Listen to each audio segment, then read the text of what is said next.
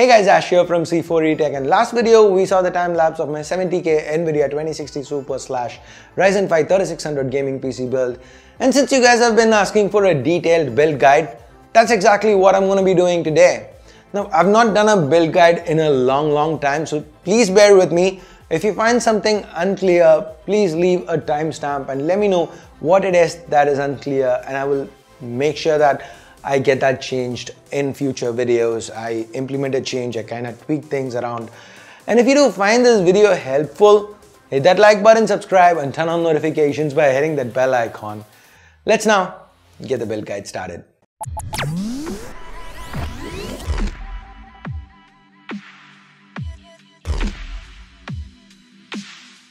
So guys, for this build, I'm using the C300, but if you wanna uh, but since this is technically a 70k build, you could kind of alternate to the C200 if you want to really keep it exactly under 70k.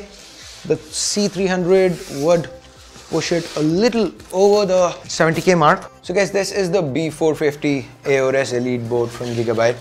So this is the board that we're using today.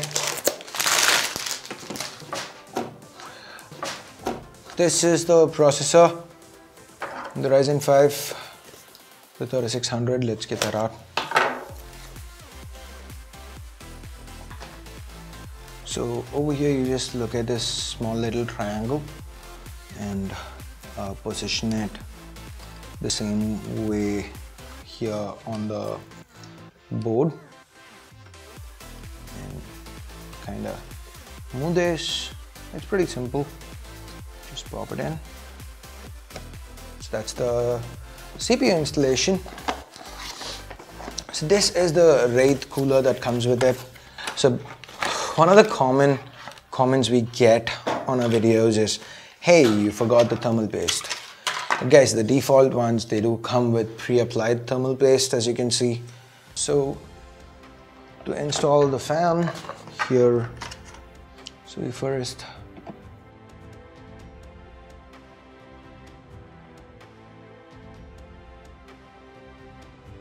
So now that we've removed these, uh, we can install the Wraith cooler. So like I said, we do have pre-applied thermal paste, so we don't need to reapply that. So you just need to align uh, the screws with these and place it on top. It's pretty simple, the installation. Just align it pretty much. And now start screwing it. Uh, keep tightening it gradually.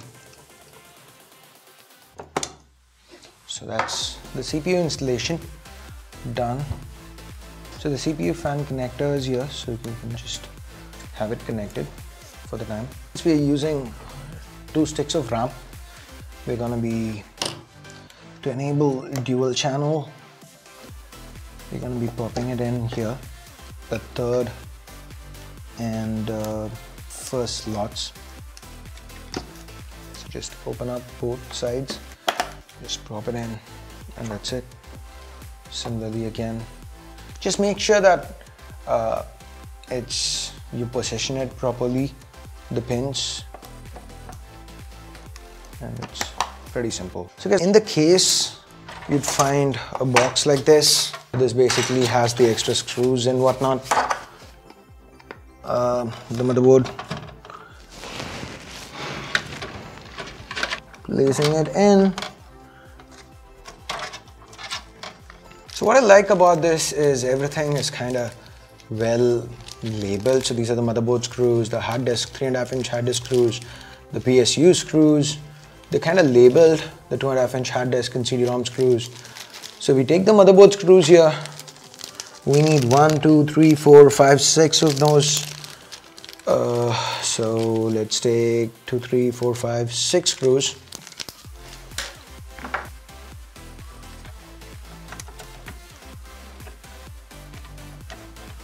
Don't over tighten it to start with, just get it into position.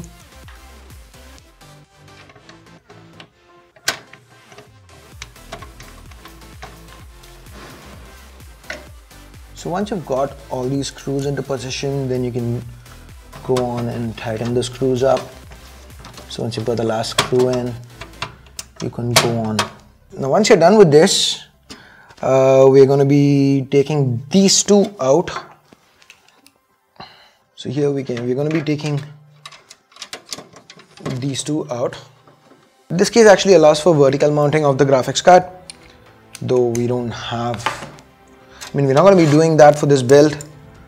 Let me know if you want me to do that for a future build. This is the 2060 Super. This is the card we are going with for this build. You just need to place the graphics card and just click it into place. It just kind of, that's pretty much it. Nothing special about it. Uh, and now the two screws that we removed, we're just gonna screw them in. So guys, here we have three SSD mounting slots. So I'm gonna use this one here. This is a 240 gig gigabyte SSD that we're gonna be using here. We've got the SSD mounting screws that came with the motherboard. So we can take four of these. So let me just quickly screw them in. So once you've tightened these screws, uh, you see the arrow mark here. So based on these arrow marks, just slide it in.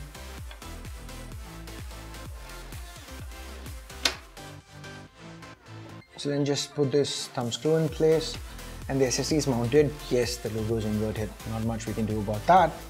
So any which ways, that's the SSD mounting. So now let's get to the PSU. So guys, this is the PSU. I'm going with the modular PSU here. You don't have to, if you want a better value for money PSU, you could still get uh, 80 plus gold PSU that's not modular. So uh, it would be cheaper. So any which ways, we need a 24 pin for the motherboard. So let's plug that in. It's pretty simple here, the requirements. We don't have a lot of peripherals. So this is for, um, let's say PCIe 1 and let's get a SATA. Basically you just take this end and plug it into one of the peripheral ends. So this is basically what you do. So once we are done with it, let's just uh, put this inside over here and uh, the only cable that's gonna come through this it's gotta be the PCIe that is the GPU cable. Plug this in. That's the power for the GPU so now the PSU itself we just put it on the standoffs here on the inside and we just need to screw it in. So we've got the PSU screws from the motherboard uh, screws that we got. So let's just take them. We just need to screw them in. So now that we've screwed this in, uh, next let's connect the uh, motherboard power. So the 24 pin. So that's the big one. So let's start with connecting that. So that's the big one. So we're gonna route it through the top here. Okay, before even with the CPU, I mean, sorry, the GPU and uh, even with this, wherever you plug in power, you see one of the sides will have a ridge. That's where this kind of plugs in. So basically here we have a ridge to the left. So this plugs in this way. Just press it and you should hear that's pretty much it. Next we'll have to connect the CPU power. So for that we'll have an 8 pin. So that 8 pin is connected to this. So we can route that through the top and we've got that right up here. So so once you plug it in right, you kind of feel it click into place. That's basically it. Let's get to the front IO now. So this is basically everything that comes from the front header. So everything that we have to the front of the PC or rather the case. So we're gonna have to plug all of these in. I see a USB 3 here. There's a USB 3 right here at the bottom. So I'm gonna push this out for better cable management. I'm gonna move the USB 3 out, push it right out of here. And we'll get to that in a bit. And the same thing, and that's exactly what I'm gonna do with HD audio as well. Because HD audio is over here and I don't wanna route it this way either. So out goes HD audio.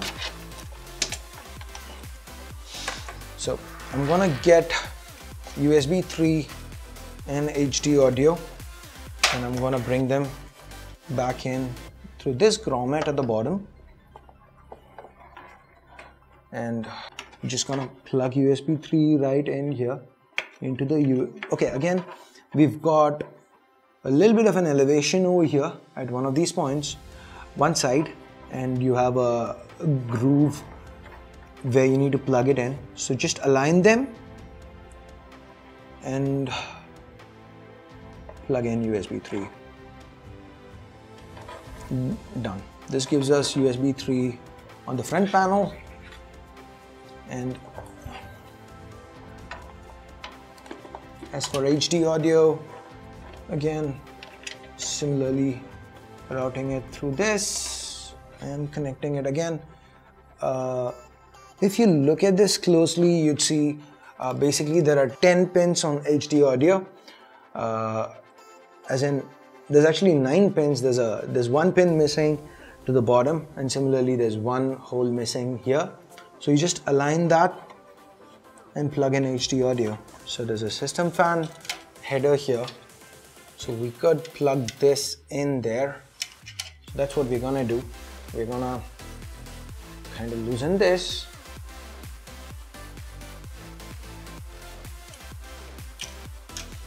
And take this fan header. Let me just pass this through as of now. Um, I might not connect it to the board, I'm just power it so that the fan runs and it's not controlled by the board. Far more function I guess. But let's see.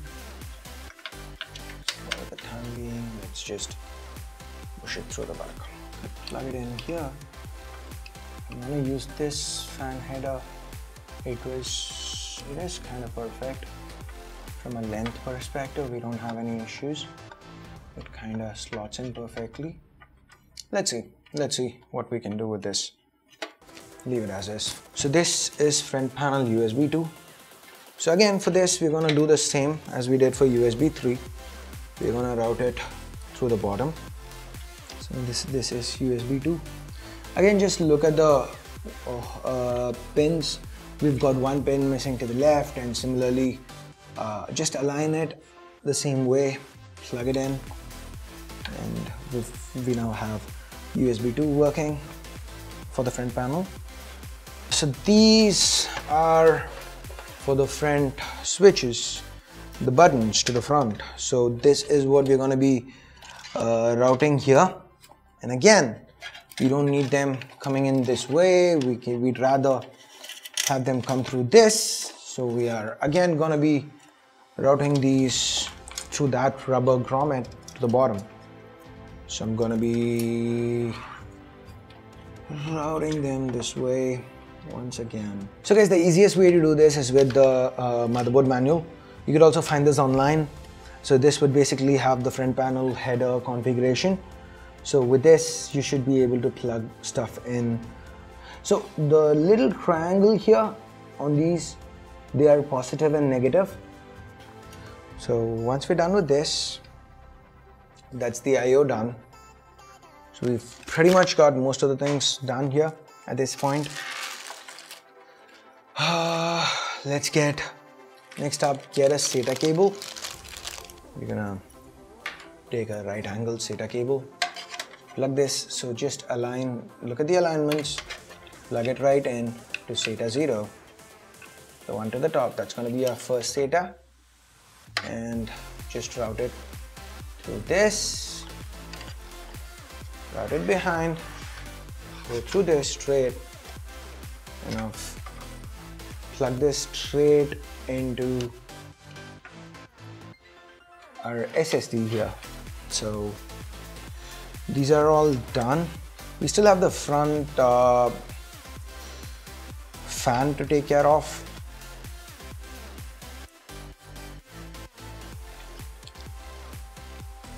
That's pretty weird as well. So anyway, ways, quickly getting to the power options. Um, let's just use this to power this and then have it power this. So now plugging in the power for the SSD, done that. So now uh, that we've done this, I will get back in, you know do a little bit more of cable management in a bit. But for now, uh, let's just wrap this up.